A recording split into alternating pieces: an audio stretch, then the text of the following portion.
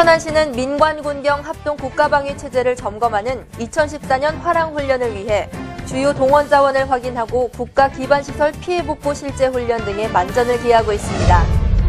지난 1일 천안시 성환배 축제가 성환 문화회관에서 열렸습니다. 성환배의 우수성을 알리는 품평회를 비롯해 다양한 이벤트와 공연이 진행됐습니다. 제3회 지회장기 노인 지도자 그라운드 골프 대회가 열렸습니다. 사단법인 대한노인회 천안시지회가 주관한 이번 대회에는 천안시 읍면동 선수와 관계자 300여 명이 참가했습니다. 제15회 천안시장기 생활체육 한마음 축제가 지난 2일 종합운동장에서 열렸습니다. 검도, 족구, 배드민턴 등 30개 종목별로 경기를 치르고 생활체육을 통한 건강한 생활 실천 의지를 모았습니다. 올해 4월에 개관한 천안흥타령관에서 전통주 시음 행사가 열렸습니다.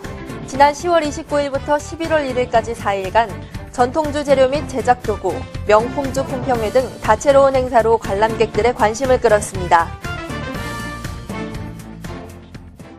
시민 여러분 안녕하십니까? 지난 한 해 우리나라에서 우울증 치료를 받은 사람은 무려 66만 명에 이른다고 합니다. 특히 계절이 바뀔 때 나타나는 계절성 우울증은 의학계에 관심을 받고 있는데요.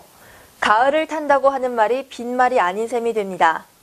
햇빛이 좋은 날에는 산책이나 조깅을 하면서 일조량을 늘리고 혼자 있는 시간보다는 사람들과 함께하는 시간을 늘리는 게 좋다고 합니다. 기분 좋은 11월 시작하시기 바랍니다. 천안뉴스 시작하겠습니다.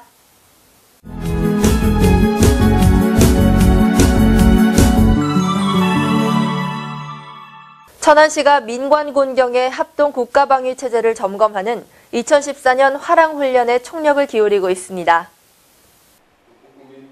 화랑훈련 기간 중에는 통합방위 종합상황실 운영, 방위지원본부 운영 및 중요시설 방호훈련을 통해 민관군경의 안보공감대를 형성하고 유사시 완벽한 통합방위 태세를 확립하게 됩니다.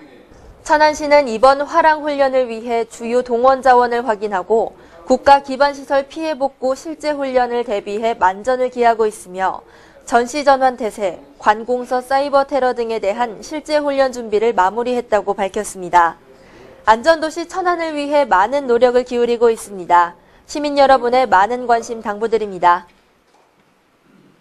우리 천안을 대표하는 농산물, 바로 성환배인데요. 배의 고장 천안을 알리는 천안시 성환배 축제가 지난 1일 성환문화회관에서 열렸습니다. 배를 재배하고 있는 농업인 그리고 시민 500여 명이 참여해 다양한 이벤트와 체험마당, 공연 등으로 즐거운 시간을 가졌습니다. 특히 성환배의 우수성을 알리는 품평회에는 농가에서 수확한 올해 최고의 명품배를 선발해 많은 시민들의 박수갈채를 받았습니다. 또한 특산물 전시 및 판매장, 먹거리 장터가 함께 운영돼 축제 현장을 찾은 시민들의 많은 관심을 끌기도 했습니다. 그라운드 골프 들어보셨나요? 골프와 게이트볼의 장점만 딴 스포츠로 규칙도 간단하고 경제적 부담도 거의 없어 누구나 즐길 수 있습니다. 제3회 지회장기 노인 지도자 그라운드 골프 대회가 열렸습니다. 이번 대회에는 읍면동별 선수와 관계자 300여 명이 참석한 가운데 열렸습니다. 천안시 관계자는 노인들의 건강과 삶의 질을 향상시킬 수 있는 다양한 스포츠 대회를 지속적으로 발굴해 활력소가 될 수 있도록 노력하겠다고 말했습니다. 그라운드 골프는 골프채와 비슷한 나무채로 공을 쳐서 직경 36cm의 홀에 최소 타수로 넣는 경기며 한 팀에 6명이 기준이지만 인원수 제한 없이 경기를 즐길 수 있어 노인들을 위한 최적의 스포츠로 최근 각광받고 있습니다. 축구, 배드민턴 등 많은 분들이 요즘 생활체육 한 가지쯤은 하고 계실 텐데요. 천안 생활체육인들의 축제인 제15회 천안시장기 생활체육 한마음 축제가 지난 2일 천안 종합운동장에서 열렸습니다. 생활체육을 활성화하고 동호인들의 화합을 도모하기 위해 마련한 이날 행사에는 검도, 족구, 볼링, 테니스, 게이트볼, 축구, 배드민턴 등 30개 종목별로 경기를 치르고 생활체육을 통한 건강한 생활실천 의지를 모았습니다. 행사 관계자는 생활체육은 이제 개인의 건강과 행복 증진은 물론 지역 주민들의 소통과 화합을 위한 선택이 아닌 필수가 됐다며 이번 대회를 통해 생활체육 활성화는 물론 시민들의 결속과 화합의 자리가 될 것으로 기대한다고 말했습니다. 한 해가 막바지로 달리고 있습니다. 올해는 꼭 운동해야지 하고 결심했던 분들 많으실 텐데요. 더 이상 미루지 마시고 지금이라도 늦지 않았습니다. 11월 첫 주부터 생활체육 한 가지 시작해 보시는 건 어떨까요? 올 4월에 개관한 천안흥타령관에서 전통주 시음 행사가 열렸습니다. 2014 대한민국 국제 농기계자재 박람회 기간인 지난 10월 29일부터 11월 1일까지 4일간 흥타령관 1층 로비에서 관람객을 대상으로 전통주 시음 행사를 개최했습니다. 시음주에는 술맛이 뛰어나기로 유명한 호산춘, 향기가 좋아 삼키기 아깝다고 이름 붙여진 석탄향, 그리고 먹으면 요강이 엎어진다는 복분자주 등 3종입니다.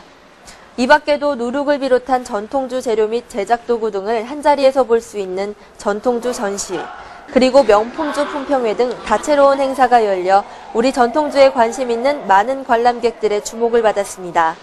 이번 행사를 통해 전통주 전문 박물관으로서의 위상을 홍보하고 전통주의 의미와 가치를 일깨워주는 좋은 계기가 됐습니다. 천안박물관 관계자는 전통주 전문가 양성 프로그램을 비롯해 각종 체험 프로그램 등을 개발해 앞으로 국내 최고의 전통주 전문 박물관으로 자리 잡게 될 것이라고 말했습니다.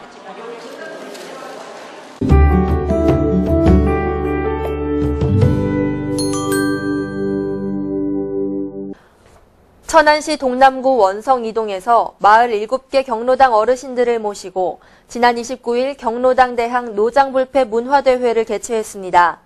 바둑, 장기, 윷놀이, 투호 4개의 종목의 경기가 진행됐습니다. 천안시 병천면 사무소가 27일 병천고등학교와 연계해 임의용 봉사활동을 펼쳤습니다. 저소득층 어르신 20여 명을 위해 커트와 손 마사지 등의 봉사활동을 통해 어르신들과 정겨운 시간을 가졌습니다. 백성문화대학교 아동청소년학과 학생들은 지난 25일 연탄 4,500장을 광덕면의 저소득 10가구에 배달했습니다. 정성껏 담근 김치도 후원받아 함께 전달했습니다. 천안시 서북구 쌍용삼동 노인회는 지난 27일 공원 환경정비 봉사활동을 펼쳤습니다. 매월 2회씩 노인회 회원들이 함께 모여 공원 내 낙엽 청소 및 잡초 제거, 쓰레기 수거를 통해 쾌적한 소공원을 만드는 데 앞장서고 있습니다. 천안시 병천면 주민자치위원회는 관내 90세 이상 어르신들을 위한 백수잔치를 개최했습니다. 우리 고유의 효사상과 어르신을 공경하는 아름다운 전통이 후세들에게 이어지고 자라나는 청소년들에게 교훈이 되는 공경 나눔의 장이 되기를 바랍니다.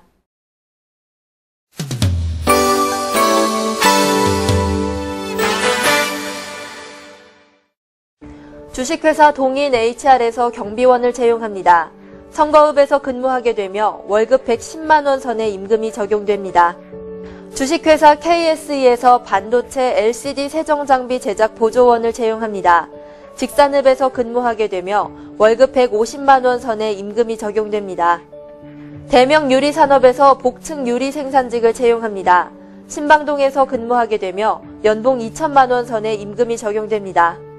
SRT 푸드에서 가공식품 포장원을 채용합니다. 신당동에서 근무하게 되며 시급 5,210원 선의 임금이 적용됩니다. 주식회사 미성화인텍에서 기계캐드원을 채용합니다. 수신면에서 근무하게 되며 월급 150만원 선의 임금이 적용됩니다. 기타 자세한 사항은 일자리 종합센터로 문의하면 안내받을 수 있습니다.